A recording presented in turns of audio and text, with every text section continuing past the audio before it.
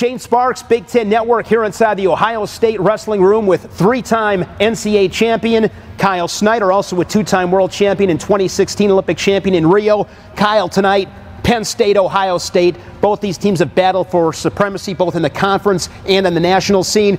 What do you appreciate most about the rivalry and maybe a favorite memory during your time?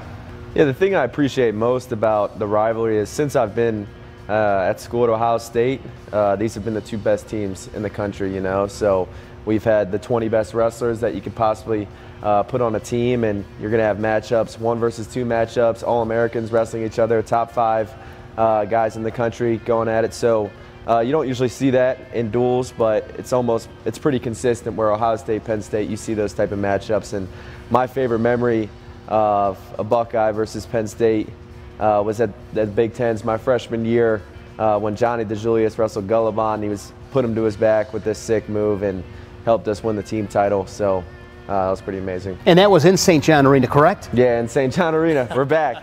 awesome. We're, we're back. You have been on the biggest stages in the world Olympics, World Championships, Eureka, the big stage at the NCAA Championships. How did you learn to navigate dealing with the pressures of those moments?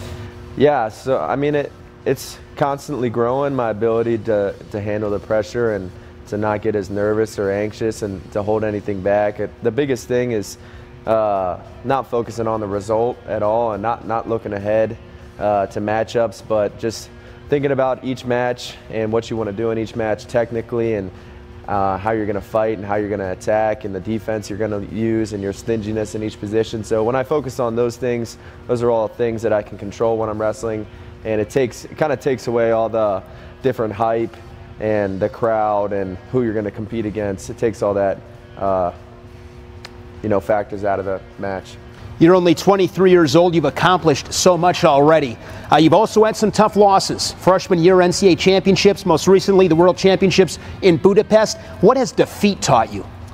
Yeah, defeat taught me that defeat's not that bad.